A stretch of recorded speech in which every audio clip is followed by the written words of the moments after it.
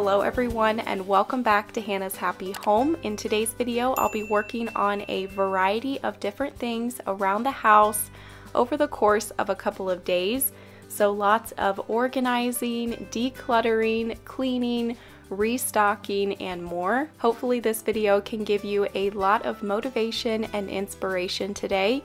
And I am also doing a giveaway in today's video. I'm giving away a $50 gift card to Amazon so that one of you can buy some organization products for your home on me. All of the details of how to enter will be typed up here on the screen and also down below in the description box. So starting off today, I am just tidying up the kitchen and then I'm also getting some sourdough bread started. So I was just measuring out my starter and flour and water into this bowl, getting that stirred up, and then just starting the process of sourdough bread, which can be quite a long process, usually either an all day process or I will start it in the evening and then let it rise overnight.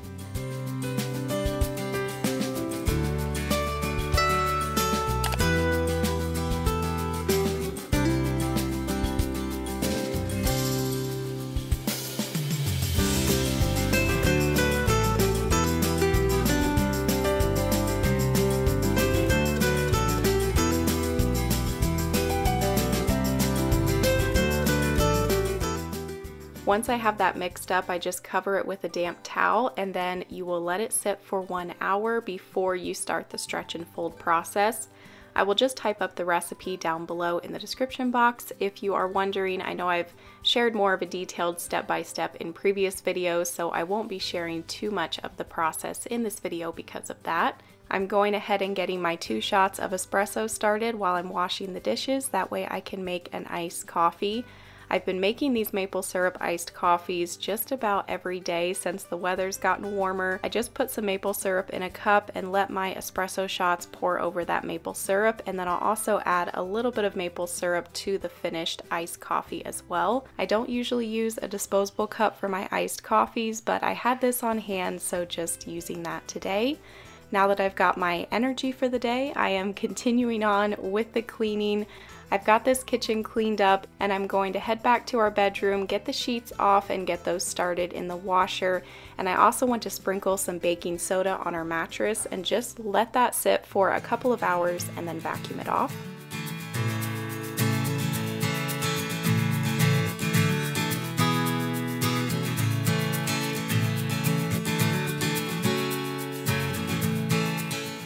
Sprinkling baking soda on your mattress and just letting that sit before you vacuum your mattress is a great way to refresh the mattress. You could also add a couple of drops of your favorite essential oil into the baking soda box and shake that up before you put the baking soda onto the mattress. I forgot to add the essential oil to the baking soda box this time, but that's really nice to add because it just gives your mattress that nice fresh smell afterwards. The next thing on my to-do list was to quickly clean our bathroom drawers. These have stayed fairly organized except for the bottom drawer, which you'll see here in a little bit. I did need to reorganize and declutter that drawer a little bit, but these top two drawers just basically needed to be cleaned and a few things needed restocked, like the flossers and the Q-tips. It was really nice that these drawers had these built-in organizers and these clear acrylic organizers just fit perfectly into the spaces in the drawer. I ordered these off of Amazon and we've got them in this bathroom and also the hall bathroom.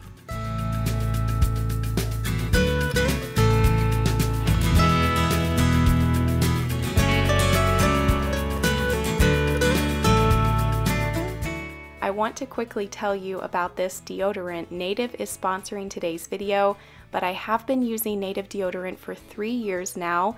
Three years ago, I was on the search for a deodorant with clean ingredients, and I just couldn't find one that actually worked for me until I started using Native, and it's the only deodorant I've been using ever since. I love that this deodorant is aluminum free, paraben free, and has simple, effective ingredients you know, like coconut oil and shea butter it's not sticky, feels dry when applying, and I love their scents. I've tried a lot of their scents over the last three years, and there hasn't been one that I haven't liked. There I was showing you three of the scents, Sweet Peach and Nectar, which has always been my favorite, Coconut and Vanilla, which is just like that perfect fresh scent, and then honey and white oak, which I would describe as more of like a masculine scent. It's very fresh and earthy. Anyway, I would highly recommend Native. If you want to order anything, I do have a discount. You can save 20% off your first purchase at Native using my link and my code HAPPYHOME5. This offer is available site wide, but only for a limited time.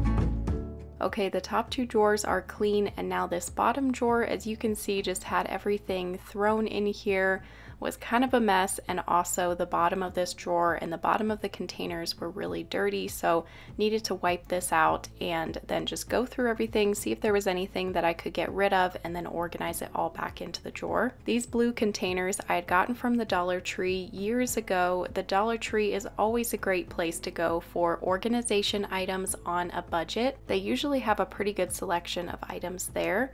So we do keep this bathroom pretty minimal and that has really helped to keep it organized. Last year I went through everything and only kept what we actually used.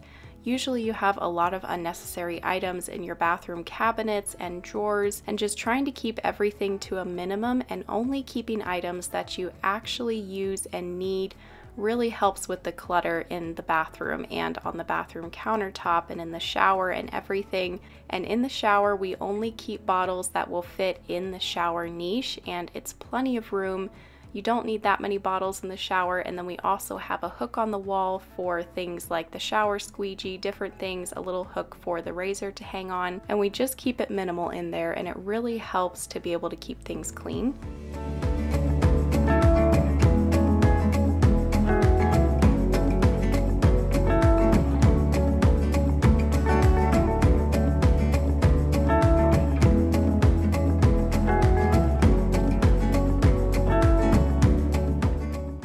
Next things I wanted to get done on my list were here in the boys' bedroom. So, a couple of days before, Jalen had hung up these little bookshelves for me. They're not really bookshelves, they're more of like file holders, I guess you would say. I got these off of Amazon years ago. We were going to get rid of them and just put up little bookshelves in the boys' bedroom, but we just ended up deciding to put these right here on this little wall underneath the basketball hoop. They fit perfectly here. We already had them on hand. I wasn't sure where I would put little bookshelves in their room, and so we just ended up keeping these. They work out great, and I do also keep a couple of little books over here on this toy shelf. Once I was done organizing their books, I got started on cleaning out the boys' closet. There's not a whole lot of space in here because of this mattress, but things were just stacked and thrown over here on this right side so I just wanted to pull everything out, go through it all. I also really needed to go through the bin of clothes that Kyle had grown out of because Owen was needing some clothes. So I needed to go through that bin and see if there was any clothes that could fit Owen.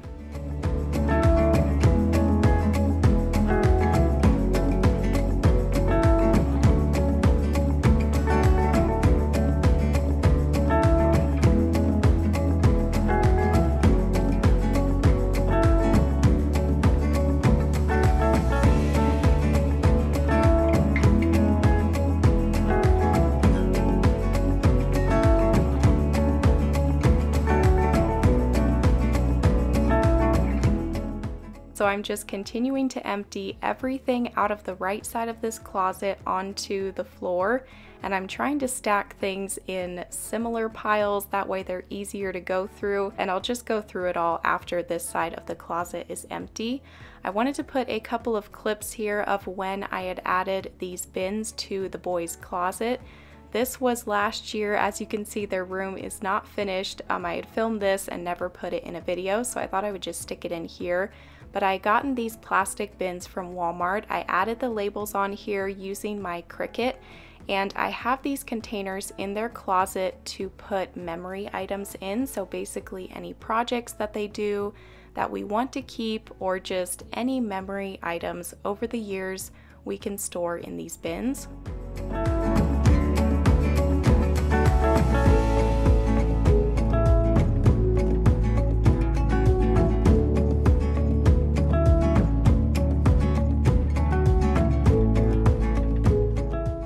If you've been watching my videos for a few years, then you've seen that I do declutter and organize areas of my house quite often, and that's because decluttering and organizing is never a once and done.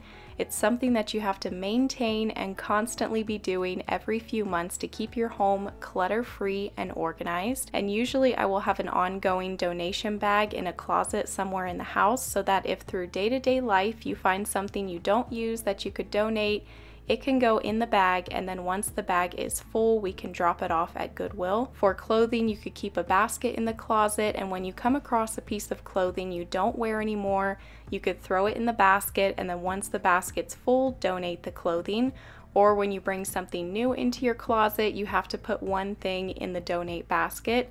It's just kind of an easy way to stay on top of the clutter and also always be conscious about what you bring into your home. When you're shopping, before you check out, scan your cart and see if there's any unnecessary items or things that you don't really need, you know, kind of those impulse purchases that end up being clutter in your home. Anyway, maybe hopefully some of those tips were helpful. I know keeping things organized and decluttered can be really overwhelming, so hopefully that gave you a bit of inspiration.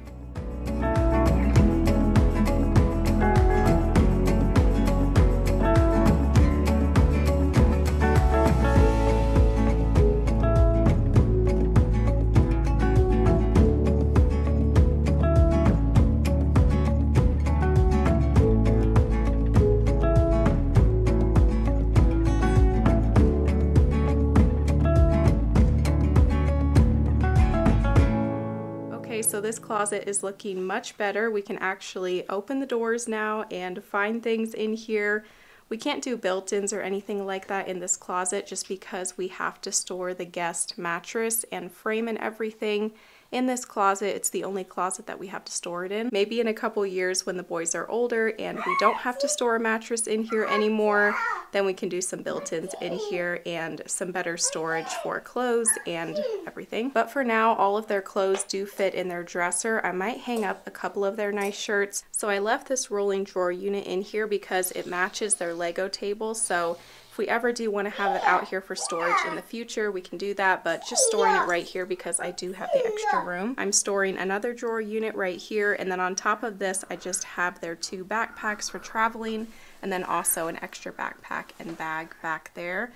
These two containers, like I said, just keeping memory type items in these special projects that they do or anything that we want to save over the years. And then this blue container is any clothes that Kyle grows out of and that Owen will be growing into. I always keep this side table in here because if we do have overnight guests and we set up this bed, this is the nightstand that I put beside of the bed so that they can have somewhere to put their phone and water and everything. This is Kyle and Owen's snow items, which we don't use often here in southern Arizona, basically just if we go up north or if we go snowboarding or anything. So like their winter jackets and gloves and snow pants and all of that. Not too much stored up on that top shelf, but on the other side of this top shelf behind the mattress that you can't see, we do have some extra just random things stored back there in that extra space. And you can't see, but on the other side of this mattress, we do have all of our folding chairs and some bulletin boards down there. Okay, so now we're in the closet and I wanted to show you what I have behind the mattress. This is a Helix Midnight mattress, really comfortable if you're wondering, and they do have these frames that are really easy to set up, so great for a guest bed. Back behind here, I do have all the way back there the bedding for the guest bed and the pillows and everything just to make it really easy so that when I pull this out and set it up, everything is just right there. And then I have the boys' extra bedding just setting up on top of this frame. He's driving some trucks down here, so it's a little bit noisy, um, but that is pretty much everything that we have stored in this closet. It works great for now, but like I said, as the boys get older, we may have to store this guest mattress somewhere else if we can and do built-ins and more storage for clothes and things, but right now all their clothes do fit in the dresser. I'll walk over and show you everything that's leaving the room. I did already take that bag of clothes back to Levi's room, and this is everything else that's leaving. So this is an extra container and just an extra basket and shelves and things I'll put over with my home decor where I keep like home decor, home project, organization items. This is a box of trash and then this is a bag of donations and then that box has extra wallpaper in it, which is this exact same wallpaper. And then over here, I got all their books organized onto these like file holders. This works out really well and we already had them on hand. I've got them underneath this basketball hoop right here. And I put Kyle's chapter books on top of this storage unit, but he's going to be collecting more chapter books very soon as he gets older. So I will have shelves over in my office where we can put all the chapter books. And then I do keep some of their cute books here, some of the newer ones just right here, easily accessible.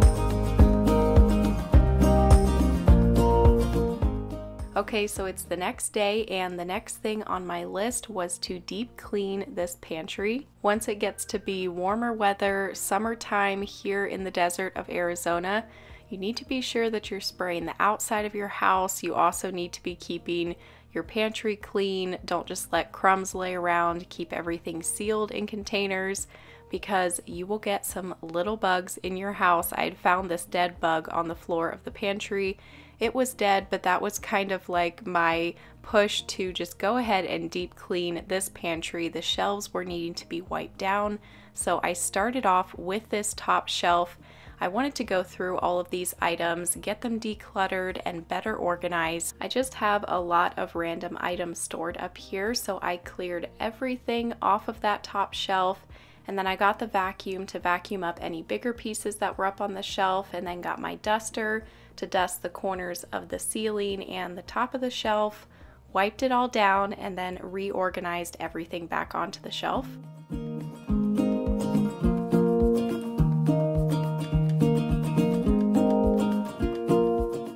I had a collection of different glass jars and plastic bottles up here on the top shelf, and these large glass jars were pickle jars it's really good to just hang on to these large jars. Once you use up what's inside, you can wash them and just keep them on hand because these are great if you are giving soup to someone who's sick or maybe just had a baby, you're taking somebody a meal and the meal is soup, you can put it in these large glass jars.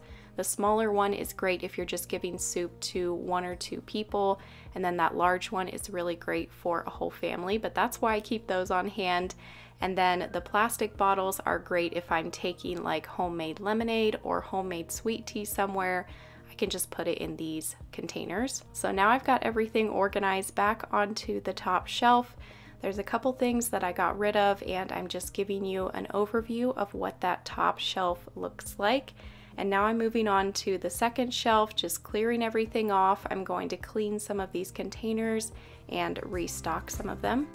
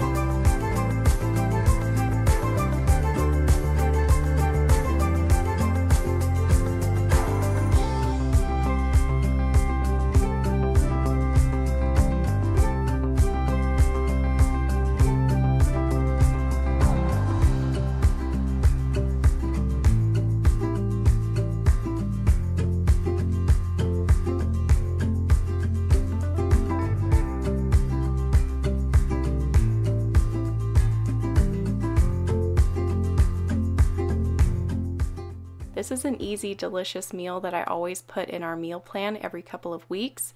So starting off, I'm getting that pasta cooked in the pan and then in this other pan, I had cooked the meat. I set that meat aside and now I'm making a thickener with butter and flour. Once that's thickened, I add in my milk and just continue to whisk, adding in the milk and whisking until I had the amount of sauce that I wanted. For seasonings, I did salt, pepper, Italian seasoning, and then I added in the spinach and let that cook for a little while and then also added in the meat.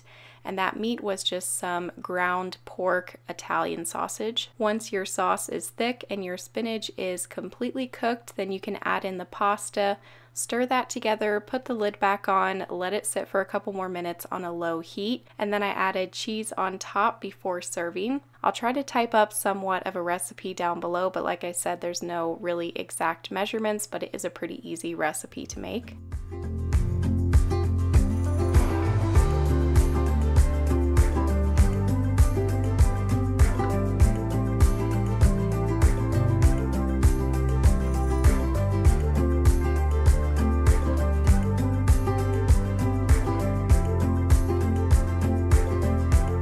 So I'm going to pause here and share a quick Azure standard haul. This is my first time ever ordering from Azure. My mother-in-law and my sister-in-law have been ordering from them for years, so I've always wanted to try them out, especially the last couple of months, and I finally made an order last month, and I just picked it up at the drop a couple of days ago. If you want to learn more about Azure Standard and how it works and everything, I'll put the link for their website down below. This is not sponsored. I did buy all of this but they are just a really awesome family owned company. It is a little bit different, as in you can't just order it anytime you want to your door.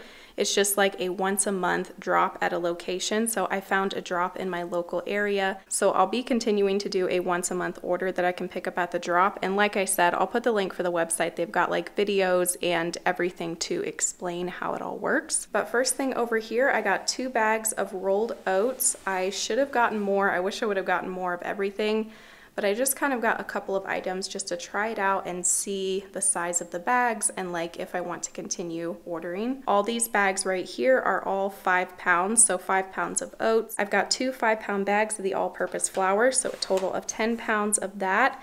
And then I got five pounds of kidney beans and five pounds of black beans. This 40 ounce bag of the multicolored organic popcorn. And this is the best popcorn. We have it when we go to my mother-in-law's house and I've been wanting to order this for a while. So we finally have got some. Definitely getting a bigger bag next time because we do go through a lot of popcorn. I got this bag of baking soda. These organic banana chips are really tasty, great little snack. This is a one pound bag. And last thing I got was a little bottle of vanilla extract. This was a good price. Everything is a good price for being organic, good quality. Like I was really surprised at the prices when I went to order.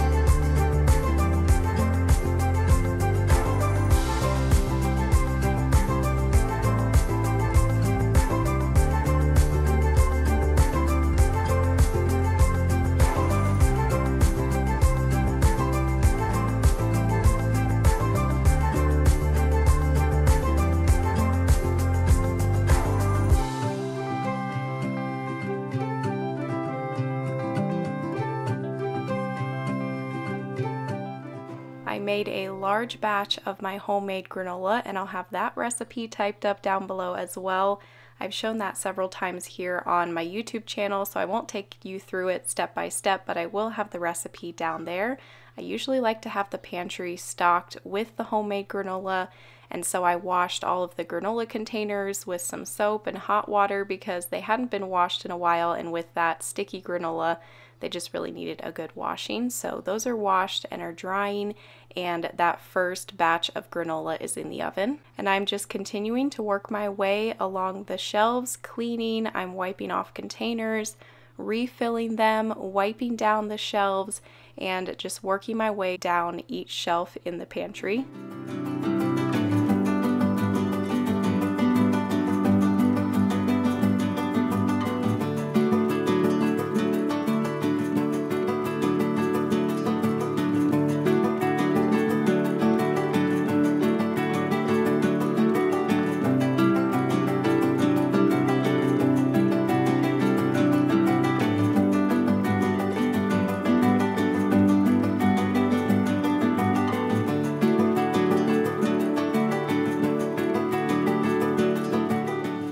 Okay, the first batch of granola is done and I let that cool off before I put it in the containers.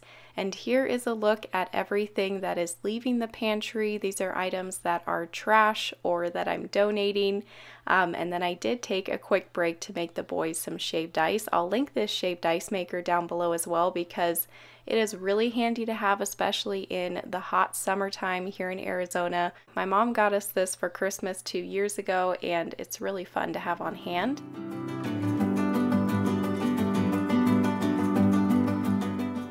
Okay, so the last thing I wanted to get done was to clean out and restock this spice and baking cabinet here in the kitchen.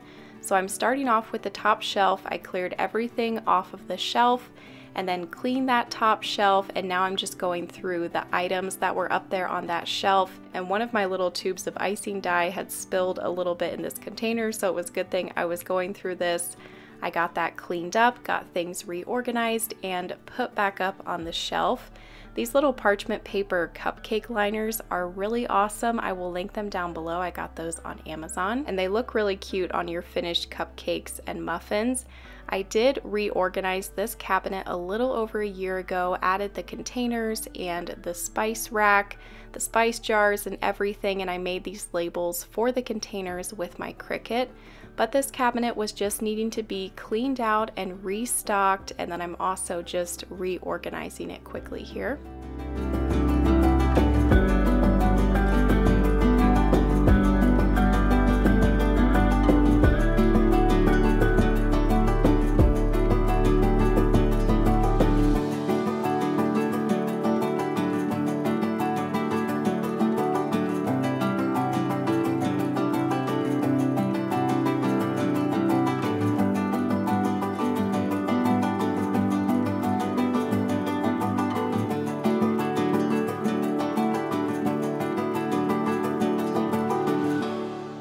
Little containers that I keep the popcorn, the cornstarch, the baking soda, all of that in.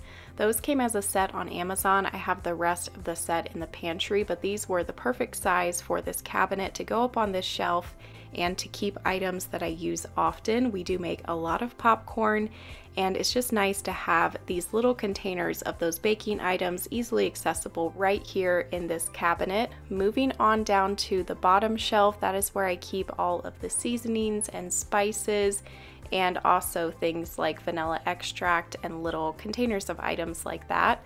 So this whole spice rack setup I got on Amazon. It came with the glass jars, the spice rack, and also the stickers. I have loved this setup. It's been so nice to just easily see everything. It looks really nice and organized and just a great way to keep all of those spices and seasonings organized. They have a lot of stickers to choose from, just about every seasoning and spice you can think of, and it does come with this little funnel so that it's easy to fill up the jars. So I decided to go ahead and fill up the rest of my spice rack with a few more spices and seasonings that I wanted to have on hand. So that is what I was working at here. And I was also showing you there that if you buy your spices at Walmart and you buy the organic great value spices that come in the glass jar, It's actually the exact same glass jar as the glass jars in this set. So all you have to do if you have those organic spices from Walmart in the glass jar is to just add the sticker on top and it will blend right in with your other glass jars. Or if you want to buy just the stickers or make them yourself and then just buy all of your seasonings from Walmart as those organic ones in the glass jars and then you just have to add the stickers on top.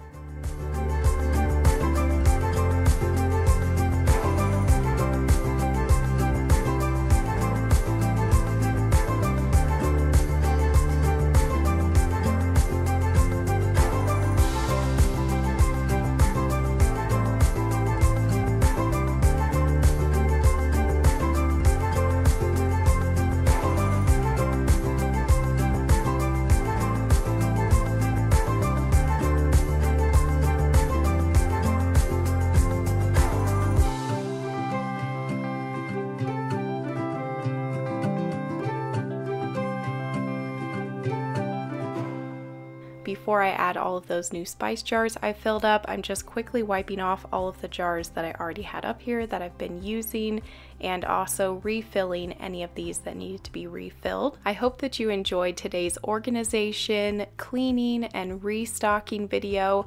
Hopefully, it just gave you a lot of organization, inspiration, and motivation today, and maybe just gave you that motivation that you needed to get something done around the house. Here I was showing you how the finished cabinet was looking. It's nice and clean and organized. It feels so good to have this reset and clean and restocked again. And I'm also showing you how I store the extra items. So the extra bags of popcorn are behind those containers of popcorn, the extra baking soda, and all of that. So anyway, thank you all so much for watching and supporting my channel. I really appreciate each of you so much.